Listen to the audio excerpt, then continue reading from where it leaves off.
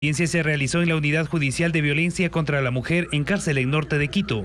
El juez acogió el pedido de la fiscal del caso María Isabel Jiménez para que el edificio en donde ocurrió el femicidio no sea derrocado. Concedió las medidas solicitadas por fiscalía. Es decir, en, este caso no podrá ser demolido el edificio. No. El auto se les notificará a las partes. Es una diligencia reservada y un caso reservado. La fiscalía solicitó esta diligencia ante el anuncio del presidente Guillermo Lazo que las instalaciones de cuatro pisos serían derrumbadas. Las partes procesales estuvieron de acuerdo con la solicitud de la fiscal. Hasta que tengamos una sentencia ejecutoriada.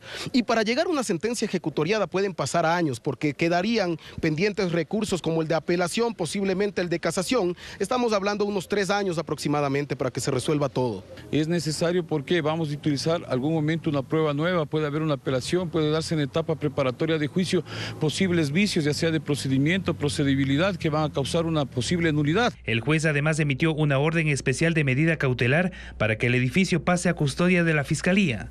El juez notificará también su decisión al presidente de la República, Guillermo Lazo, como también a la Comandancia General de la Policía para que no toquen el edificio. A la diligencia acudieron los abogados de la familia de María Belén Bernal y de la cadete detenida para investigaciones.